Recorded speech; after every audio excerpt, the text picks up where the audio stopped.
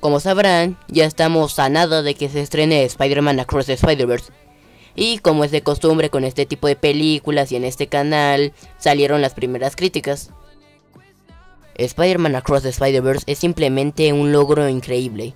Es impresionante, pero también una historia sin terminar al final. Visualmente es un logro impresionante. Es todo lo que un fanático de Spider-Man podría pedir y mucho más. Tan buena que cuesta creer que exista. Prácticamente es lo que todo fan de Spider-Man desea, aparte de tener una obvia animación increíble. Spider-Man Across the Spider-Verse está a la altura de las expectativas en todas las formas imaginables. Miles Morales brilla absolutamente en su segunda aventura cinematográfica de Marvel.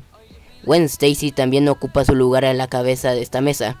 Toneladas de corazón en exhibición en cada rincón de esta película que es una película emotiva, alucinante y genial básicamente. Across the Spider-Verse es otro hito más para la animación. Sí, es hermosa y visualmente alucinante, pero esta secuela supera a la primera porque siempre pone a Miles y su familia al frente y al centro.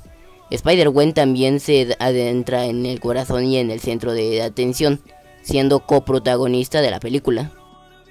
Es hermosa y tiene un buen desarrollo de personaje. ¿Qué más esperas que diga aquí? Spider-Man Across the Spider-Verse es una película imprescindible. Todo lo que te encantó del primer Spider-Verse está aquí, incluso mejor en ciertos aspectos de la película. Gran acción, animación fenomenal, elenco. Hay tantas maneras en que puedo decir que esta película es increíble en un tweet. Bueno, las personas que vieron esta película la vieron en su idioma original, o sea en inglés, y no se dieron cuenta del horrible doblaje que nos dieron aquí en Latinoamérica. Spider-Man Into the Spider-Verse elevó el listón con su estilo de animación único y forma de contar historias. Las mentes quedaron atónitas cuando se lanzó y los fanáticos pensaron que no había forma de que pudiera superarse. Piensa otra vez. Spider-Man Across Spider-Verse sube su propio listón, lo cual parecía imposible. Pues ¿qué esperas de la secuela de una película que ganó el Oscar a Mejor Película Animada, eh?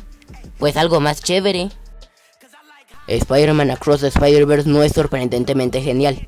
Es una historia más amplia, extendida a lo largo de esta película y la siguiente. Pero todavía se trata de Miles que solo quiere ser aceptado por quien es. Hay muchas personas araña en esta película. Me reía carcajadas como 8 veces.